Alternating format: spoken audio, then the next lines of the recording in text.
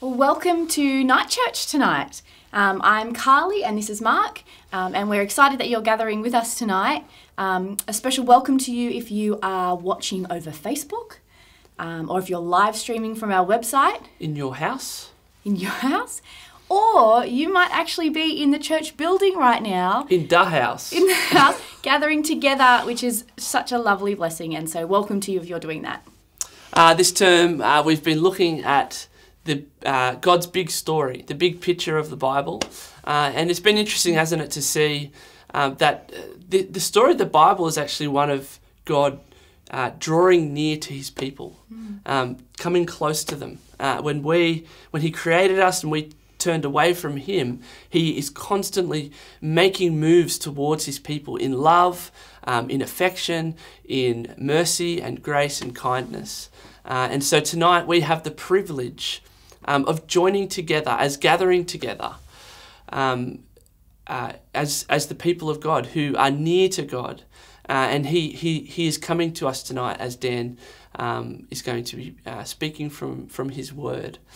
Um, and so um, it's been, uh, it's been good to, uh, to see the fulfillment of all things in Scripture in Jesus as he has come down and literally dwelt among us, dwelt with us. Um, and so um, it is good now for us to confess um, that, uh, that, that truth, that um, God is near to us, um, that He's uh, gentle and merciful to us.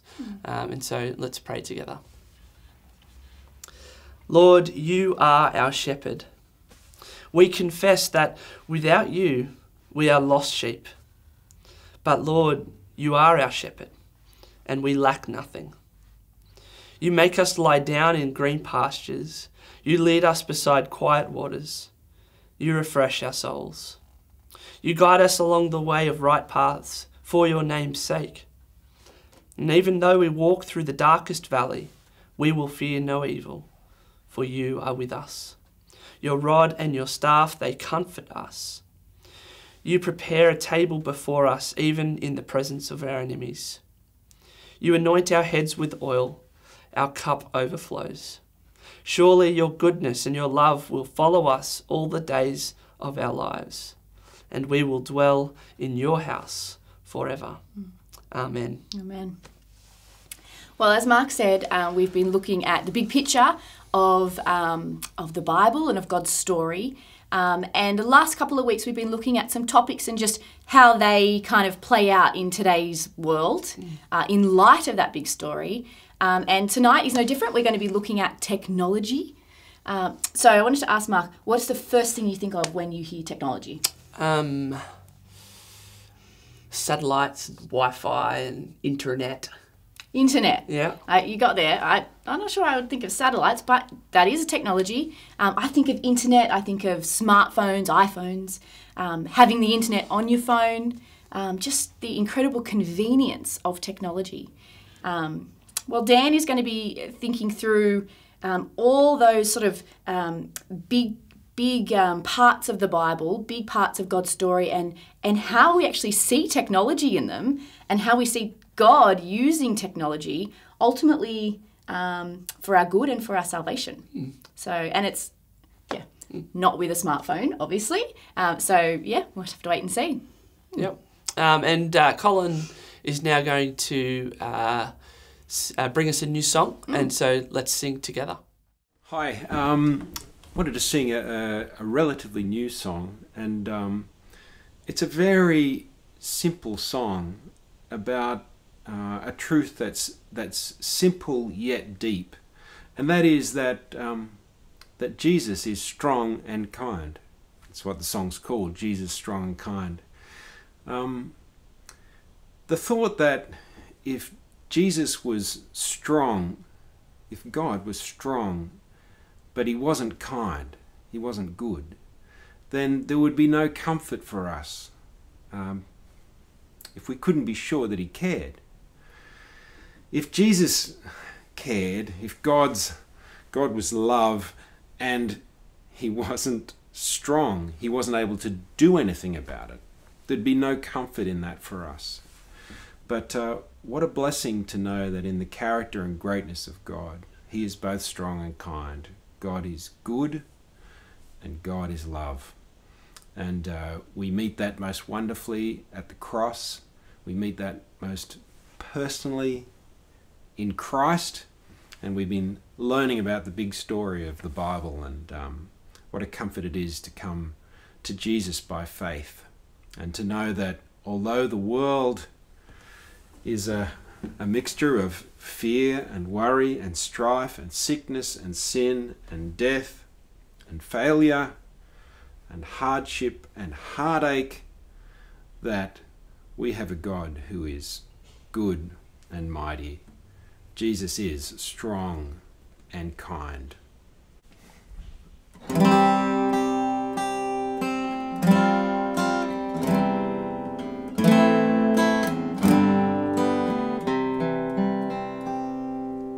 Jesus said that if I thirst,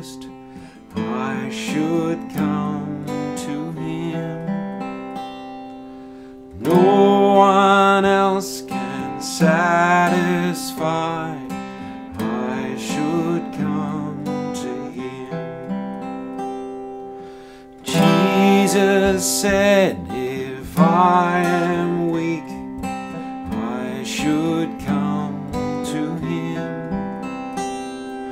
No one else can be my strength.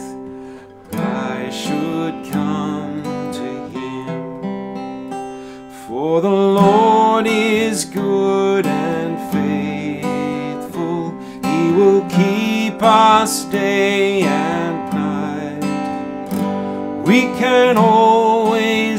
run to Jesus. Jesus strong and kind.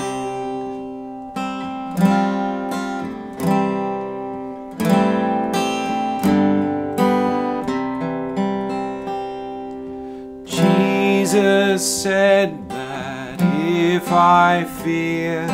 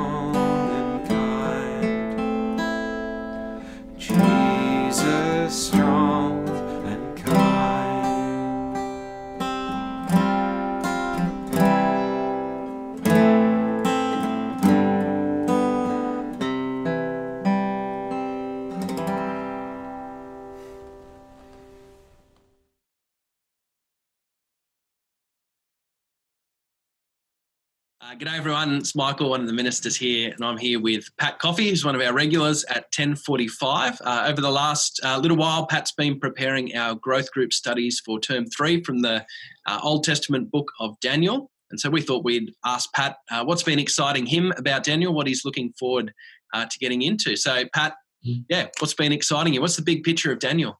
Yeah, so uh, well, I guess I'm excited because we're doing Daniel straight after we've studied the big picture of the Bible, and I think that's really helpful because Daniel, being Old Testament, um, some unusual things in it, knowing where the context is, who the people are, really helps our understanding. So, just picking up on God's one of the themes, God, you know, God's people in God's place under His rule and being a blessing to the world is really helpful because as we look throughout the whole Bible, we see that I guess a highlight under King David.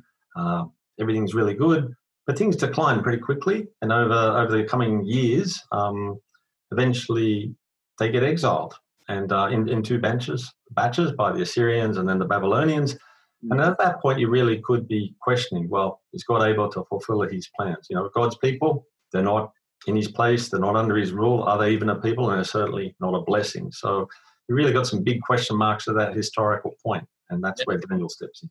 Yeah, so Daniel's answering those questions. Mm. Uh, so it's a book that we know, you know, um, you know, it's about lions and uh, uh, trees and statues and all sorts of weird and wonderful stuff in some of the chapters. Mm. but um, uh, those things are easy to get distract, uh, easy, easily distract us in the book of Daniel. Uh, what have you found helpful to keep coming back to? as you've been? I think our, uh, our theme, you know, the, the King of all kingdoms is really helpful in that regard because, again, you're coming back to God's big picture and saying, well, what is God up to? He's trying to deal with sin. He's trying to restore people in his place under his rule. And you say, well, Daniel, it's looking pretty low ebb. But all the dreams and the messages and all of the things keep pointing to don't look at the, the, the, the amazingness of what you can see, but look to God and what he's up to. And you see it time and time again. God is able to humble the proud king He's able to um, establish an eternal kingdom, and he's able to bring in the end of sin and uh, an eternal righteousness. We learn about all of that, and even the resurrection in Daniel. In the Old Testament, he's looking forward clearly to Jesus. And I think once you start seeing that, you go, wow, that unifies the whole book. But it's also a huge encouragement because it's not, God is able to control everything, and history included. And so, COVID or anything that makes you worried, you go, well, actually, I've got something in Daniel that makes me remind remind me, and I can look back historically and see God was able to do it in the past. He can continue to do it. So I, I find that really encouraging. I think that really helps. Uh, I guess avoid some of the distractions or, or some other complicated issues. Uh, the book is quite clear in that regard. Yeah, fantastic. Uh, should be. Should, I'm. I'm really looking forward to it. Sounds like you are as well. Uh, so, friends, make sure you uh, grab a copy of the Growth Group Studies. Uh, you can get that on our church website. Also, on there, you'll find uh, a second document that um, Pat's put together for us, uh, which will help to uh, as you're reading through, help you to orientate yourselves with regards to the historical context of what you're reading, how it fits in with other parts of the Bible as well. So make sure you download one of those, keep it alongside as you're reading Daniel. Uh, but we have a, a, great term ahead of us. Um, thanks for sharing, Pat. and We'll see oh. you soon. All right. Thanks. Yeah.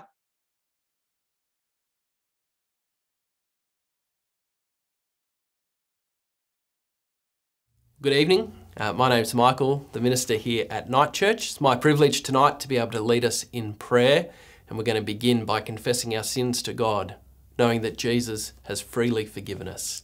Uh, to do that, I'm going to use some of David's words from Psalm 51. So if you'd like to bow your head with me, let's pray together. Have mercy on us, O God, according to your unfailing love According to your great compassion, blot out our transgressions. Wash away all our iniquity. Cleanse us from our sin. Father, we, we know our transgressions and our sin is always before us. Against you, you only have we sinned and done what is evil in your sight. Father, forgive us we thank you that in Christ, his death and resurrection, you have cleansed us. You have made us clean. Father, in his blood, you have washed us. So now, in your sight, we are whiter than snow. Father, fill us with joy and gladness. Let the bones you have crushed rejoice. For you have uh, hidden your face from our sins. You have blotted out all our iniquity. O God, create in us a pure heart and renew a steadfast spirit within us. We thank you that you will never cast us from your presence. Never will you take your Holy Spirit from us. Restore to us the joy of your salvation and grant us a willing spirit to sustain us. Father, you are the God of all nations, and so we pray tonight for our country, Australia. Direct and give wisdom to our leaders at this time as they seek to guide us through the complexities that COVID 19 has brought. We ask too that they might seek first your kingdom and your righteousness, and that we may be free to live peaceful and quiet lives in all godliness and holiness. And Father, we pray that you use us, your people, to bring many Australians to a knowledge of the truth about Christ, who gave himself as a ransom for many. Father, it is a joy and privilege to partner with our mission partners, your servants who have gone across our country and beyond to the world. We thank you for raising up Wayne and Mandy Oldfield in the Northern Territory, for Karen, who's gone to the Middle East, Kurt and Beck out at Lightning Ridge, Mal and Carissa Forrest in Jordan. Father, for the Forrests, we give thanks with you that the COVID 19, uh, with them, that the COVID 19 situation appears to be under control in Jordan. As they're able to meet together again face to face as a church, we ask for wisdom that they'll be able to do so safely, but especially that their meeting as uh, your people will be a time of encouragement and building up, equipping them to reach out together for the glory of Christ. Almighty God, you are the giver of life and health. And so we pray for those amongst us who are sick and unwell, for those who are hurting or lonely, whether it be through the loss of a loved one, or even through divorce or even abuse. For those struggling with unhappiness in marriage or singleness or whatever it might be. Father, where repentance is required, make us willing. Where reconciliation is needed, enable us to forgive, as you in Christ have forgiven us. Be our strength and comfort in every difficulty and struggle. Enable all of us to experience your generous love and to be renewed in our relationship with you. And finally, Father, as we come to read your word together, we pray that our love may abound more and more as we grow in knowledge and depth of insight, so that we might be able to discern what is best, that we may be pure and blameless for the day of Christ, filled with the fruit of righteousness that comes through Jesus. And we ask all these things in His name, for your glory and praise. Amen.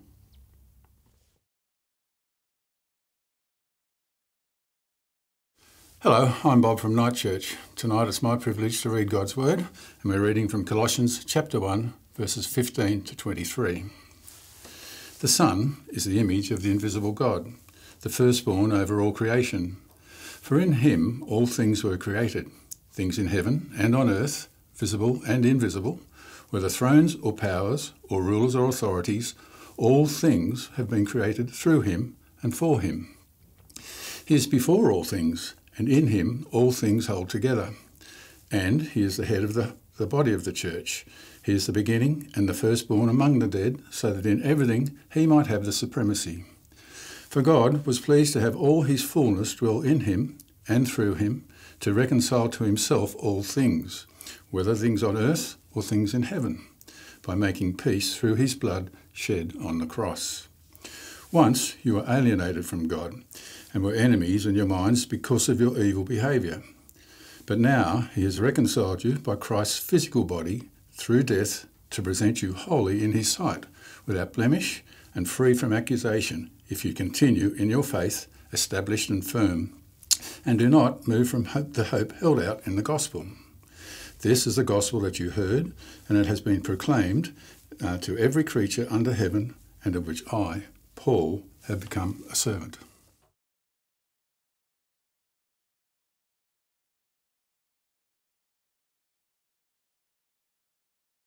Hi, I'm Dan, and I'm one of the ministers here at Engadine and Heathcote Anglican Church. This term, we've been looking at God's big story and seeing how the whole Bible fits together. And now we're going to consider what the big story of the Bible has to say about our use of technology. Technology is a confronting topic because technology it surrounds us.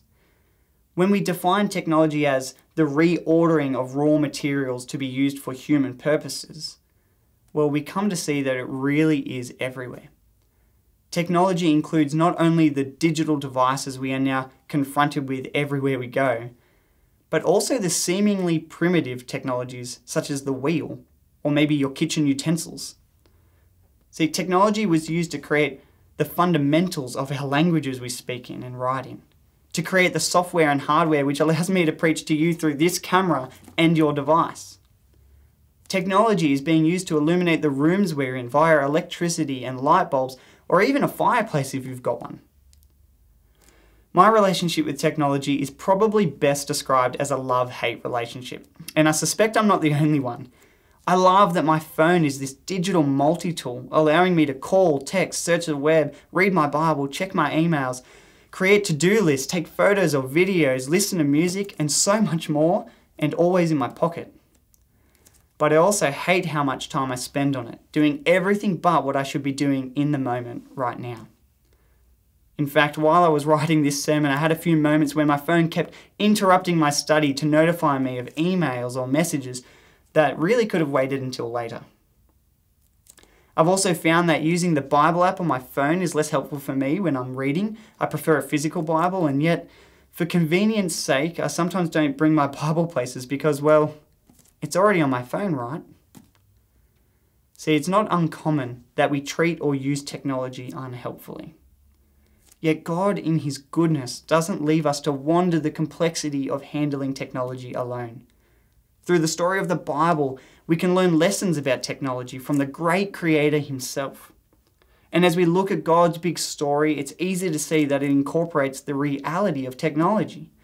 Even the images for our sermon series move from a garden to a city with the technological advancements of writing on stone, the construction of the temple, and the advancements of language represented all along the way. So today, we're going to do a biblical theology of technology by considering what the overarching story of the Bible has to say about our use of technology. So let's dig in. Firstly, in the opening pages of the Bible, we see the pattern of not only the kingdom, but of technology. See, in the first two chapters, we see that God is a creative God who, unlike us, can create new technologies without even the need of raw materials. He speaks a word and things are created. But we also see that he does choose to use creating raw materials also. For in Genesis 2 verse 7 and uh, in Genesis 2:22 we see him use the dust of the ground to create man and the rib of the man to create woman. But the amazing thing about the creation story about technology is in Genesis 1, verse 27. Here it says, So God created mankind in his own image. In the image of God, he created them. Male and female, he created them. And as little image bearers of God, it's good for humanity to bear God's likeness in their creativity. For when they do this, they're bringing glory to God. In the garden, we see Humanity's creative abilities are so God glorifying when they're put towards God's good purposes which He has given them. See, technological creativity is a way that we mirror the image of God. We mirror His creativity. But it doesn't take long in the Bible's pages for God's image bearers to decide that they don't want to live under God's rule anymore. And by chapter 3, we see God's image bearers take a bite at becoming godlike at deciding for themselves what is good or evil. And when they did this, they lost the blessings that came with living under God's good and perfect rule. And now humanity receives the curses that come from disobeying that rule. And because of this, we see two big developments in technology according to the perished kingdom. Firstly, we see the technology is no longer just used to bring glory to God, but also to fight the consequences of the curse the curse that we have brought upon ourselves when we disobey God. In Genesis 3, we read that man, under his own rule, is cursed to work the ground. It resists him through bearing thorns and thistles. Women, they're cursed with the pain in childbearing. And all of us are cursed with shame in nakedness and death. But technology can be used to push back and fight the impact of sin, can't it? Farmers, they use weed killing technologies to minimize the curse upon men. Doctors, they administer pain suppressing technology in childbirth to reduce the curse on women. And fashion designers can use fabrics to cover our bodies. See, technology is a gracious gift from God to help us live in a fallen world. And yet, no amount of technology can undo the very curse. And so, death and judgment for rebelling against God's good and perfect rule, that still looms over humanity. Now, secondly, in the perished kingdom, we see technology begins to be used against God. And this is seen at its pinnacle in the Tower of Babel at Genesis 11. Here, humanity works together to build the Tower of Babel. More than a skyscraper, the Tower of Babel is a city, unified around a temple, which is the tower itself, and it's all dedicated to the worship of human progress. Babel really is a tower of humanity's arrogance and ignorance. Mankind builds a godless skyscraper, and they do it using God's resources and God's creativity that was put into his image bearers. And what do they do it for? In an attempt to make a name for not God, but themselves. As the story unfolds, we see the humour in humanity's rebellion against God when man builds the tower as high as they possibly can, only for God to still have to stoop down in order to evaluate the progress. See, it bears the image of a parent stooping down on their knees to see the huge tower which their child has made with blocks. And we're still building towers today. Ours are made out of computers, phones, social media, medicine, and much more. Yet all of them, like the Tower of Babel, can be used to glorify humanity instead of God, using what God has given us. So, what is God going to do about man's technological rebellion? Does he have the power to stop it? The answer is yes. Even after evaluating the Tower of Babel, God disrupts humanity's progress by dispersing them and mixing up their languages as a form of judgment for their rebellion. And so, by chapter 11 of the Bible, we see that technology can be used for God's glory when His image bearers properly use it as He would have them use it. But it can also be used against God's purposes while never being outside of God's sovereign control. But most critically of all, we've seen that humanity's use of technology can only dampen the effects of the fall at best. We can never remove the curse we've put upon ourselves when we rebelled against God. But God doesn't leave us to this hopeless situation. He promises to redeem us from this. See, in Genesis 12 to 17, we see God step into the picture with the promised kingdom. See, in that part of God's big story, He gives a promise to His people that one day He will restore them back into a blessed relationship with Himself.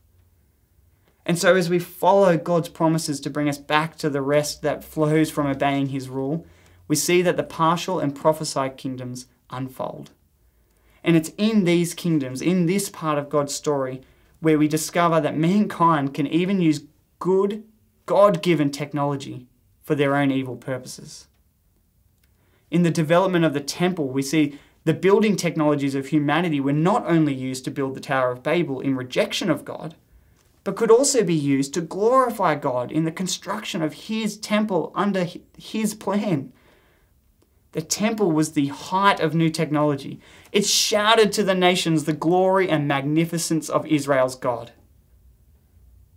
But humanity can twist even the good technology of the temple towards their own evil purposes.